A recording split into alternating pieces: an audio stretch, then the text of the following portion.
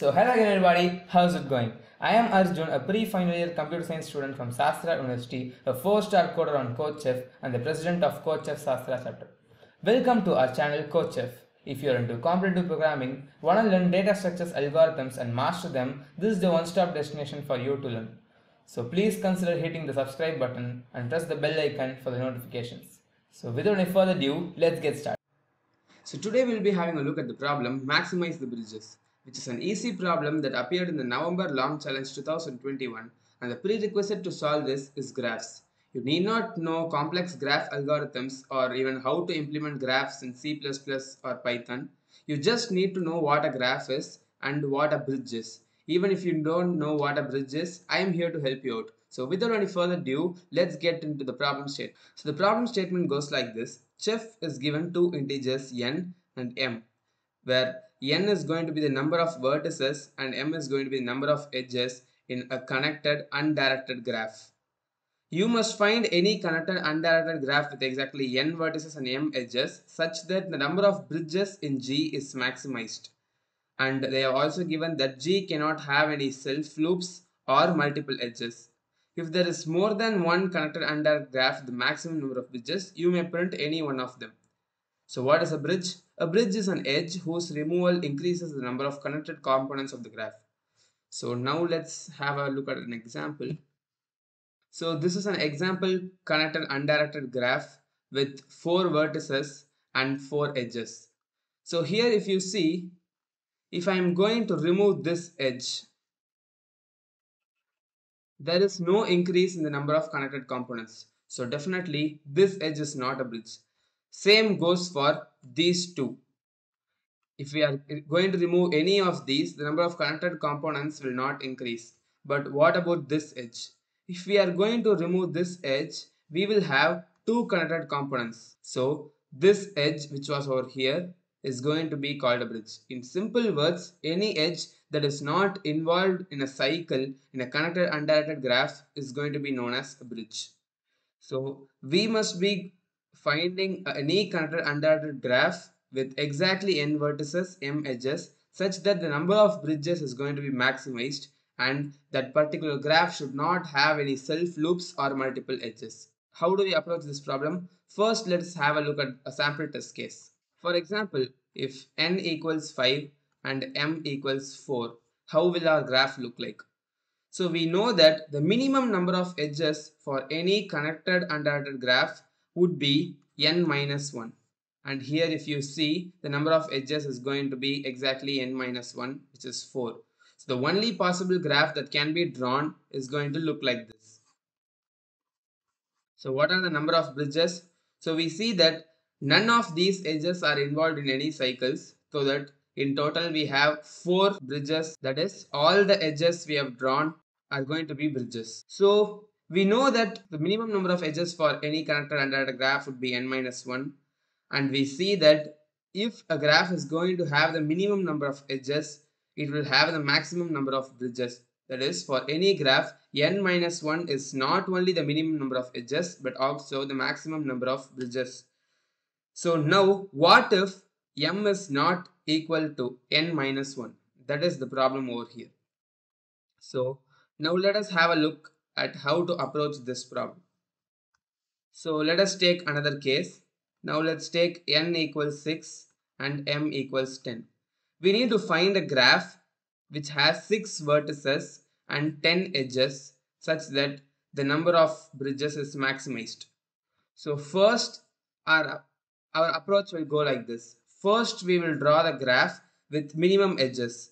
So we see that we will be drawing a graph with 6 vertices and 5 edges which will look like this. So now we are left with so we have already drawn 5 edges so now we are left with 5 more edges to be drawn. So if n equals 6 and m equals 5 this graph would have been our answer. So now let's add these 5 edges one by one. So initially we have 5 bridges in total but whenever we are going to add one more edge, our aim would be not to disturb the already existing bridges.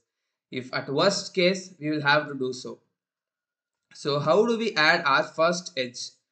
So we are going to define an algorithm to solve this problem. So if we are going to do that, we should be adding edges for following some pattern or strategy. So what is the strategy we are going to follow? We will assume that these vertices are from left to right. So a graph will not have any directions, but in this approach, we are assuming that these vertices are arranged from left to right. And we will be adding edges from each vertex towards its left. So now let's see how it goes. Can we add an edge from 1 to any vertex towards its left? No, because there are no vertices. So now let's have a look at 2. Can we add an edge from 2 to 1? No, because we have been told that there cannot be any self loops or multiple edges. So that is not possible. So the first edge we can add will be from 3. So first we add an edge from 3 to 1. So we see that these two edges were already bridges but now as we have formed a cycle by adding a new edge these edges will no more be bridges. So we have disturbed two edges so that our current count of bridges would be 3. So we are now left with 4 more edges to be drawn. So how do we draw the next edge? So is there some possibility of drawing an edge from 3 to 2? No, because an edge from 3 to 2 already exists. So we go to the next vertex possible. So from 4 we can draw an edge to 1. So now we have formed another cycle and we have disturbed this edge. So now we are left with 2 more bridges, 3 more edges to be drawn. So is there some possibility for drawing the next edge without disturbing these two bridges? Yes, we have one possibility. We have already drawn from 4 to 1. The next possibility will be from 4 to 2. There is no edge already existing between 4 to 2 so that now we can draw one. 4 to 3 will not be possible. So now we have two edges to be drawn and we haven't disturbed the existing number of bridges. So yeah, the next edge would be from 5 to 1. So now we have disturbed this edge. So now we are only left with one more edge to be drawn. But we have only one more bridge. And this will go from 5 to 2 because there are no edges from 5 to 2 existing already. So this is how we will be drawing the edges. So we see that the maximum number of bridges that can be formed with n equals 6 and m equals 10 will go is going to be only one bridge that is this one. So I hope you got the approach. Now let's define the algorithm. So the algorithm goes as follows.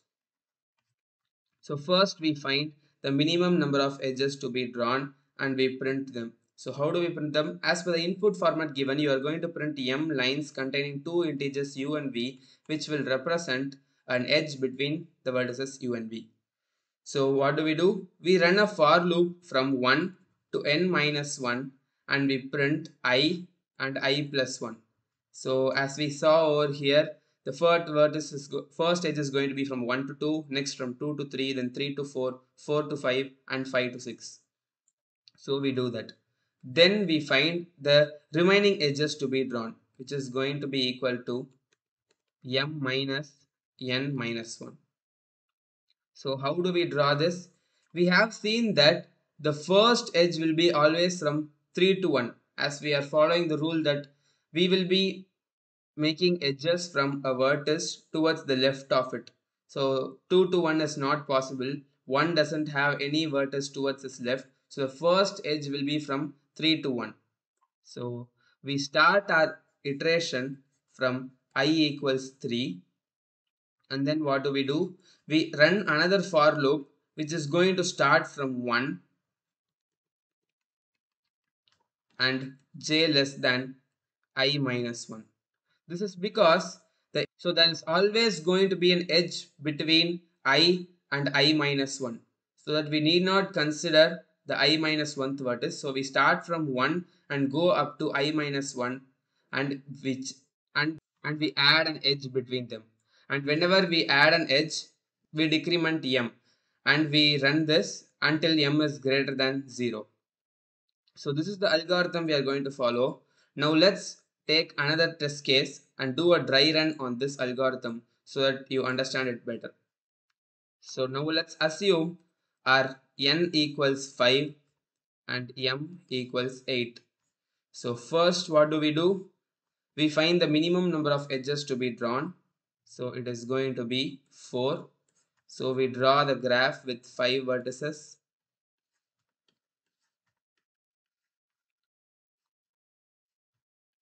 And we have drawn 4 edges. So the step 1 is done.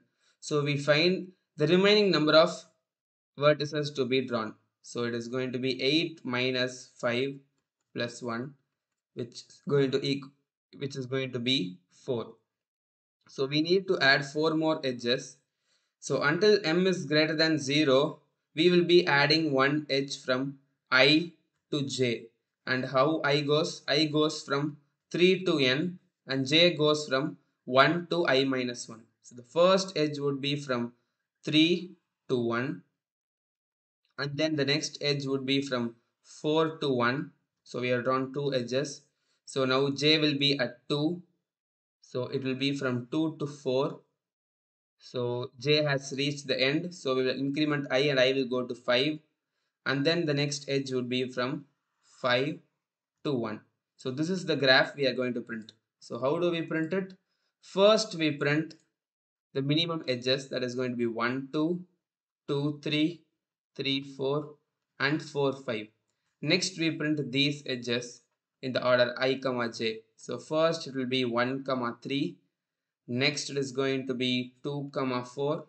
Sorry it is going to be 1 comma 4 which is going to be this edge and then it is going to be 2 comma 4 which is going to represent this one and then finally we will be putting 1 5 which is going to be this edge and this will be our output for the case n equals 5 and m equals 8. So I hope you got the approach clearly. Now let's have a look at the C++ and Python code where you will be understanding this even better. So here is the C++ code for the approach I discussed earlier. So first I get in the number of test cases and for each test case I get in two integers n and m which are going to represent the number of vertices and the number of edges respectively.